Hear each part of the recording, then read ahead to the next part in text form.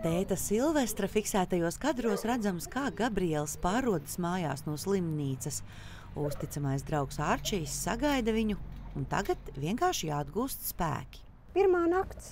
Jā, paldies Dievam, tā bija tikai pirmā nakts ar drudzi, un visas pārējās blaknes aizgāja secēm. Visi baidījāmies par to, vai panesīs, jo pretējā gadījumā nevarētu tās zāles dot, un tad viss būtu veltīgi. Bet viss ir, viss ir forši. Dinamika laba, asins analīzes labas ir, tā kā viss ir labi. Pilnīgi pēc sejas jau var redzēt, ka viņam tie melnie tādi zem acīm tie riņķi tādi, tādi vairs nav tādi, kā bija.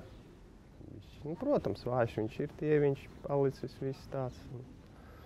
Bet izskatās, ka labāk.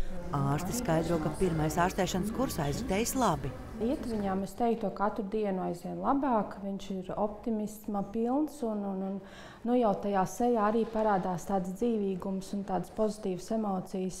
Bet arī fiziski viņš jūtas labāk un, un, un e, terapija viss notiek. Mūsu koncīlijos pieņemam lēmumus, ja mēs nedomājam, ka būs rezultāts vai slikta prognoze nav jau jēgas arī pacientam, jo tā terapija, protams, arī ir grūti panesama. Jā. Nu, nav ko slēpt. Jā. Šajā gadījumā mēs ļoti ticam, viņš tic, mēs ticam, un es domāju, ka jāturpina, noteikti jāturpina. No apjomīgās summas, gandrīz 500 tūkstošiem eiro, saziedota lielākā daļa. Šobrīd trūks naudas pēdējiem ārstēšanas posmam.